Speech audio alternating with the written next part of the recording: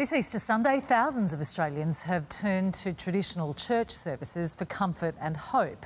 Victims of Australia's recent natural disasters and the war in Ukraine were in the prayers of many. And one of Australia's most powerful Catholics used his Easter Mass to make a stand against voluntary assisted dying laws. It's hard not to feel uplifted in the face of a chorus of hallelujah.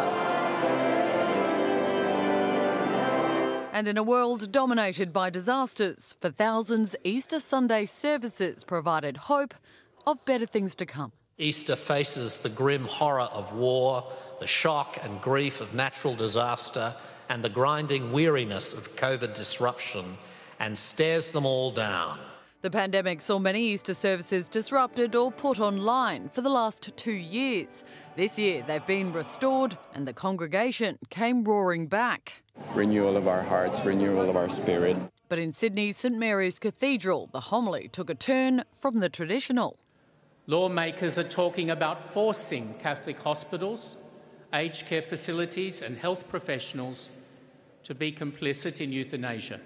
Archbishop Anthony Fisher telling the faithful they're being conscripted against their Catholic conscience by the state's proposed voluntary assisted dying laws. When misunderstood and pressured like this, we must reconsecrate ourselves to the truth. A warning to suffering, no matter how far away, cannot be ignored. And Jesus himself was imprisoned and isolated and this resonates with the experience of the Ukrainian refugees. Across the city at St Andrew's Ukrainian Catholic Church, they celebrate Easter Sunday next week.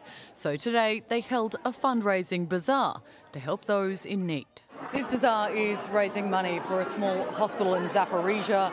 They're taking refugees now from Mariupol. They're selling traditional food, traditional clothing and art.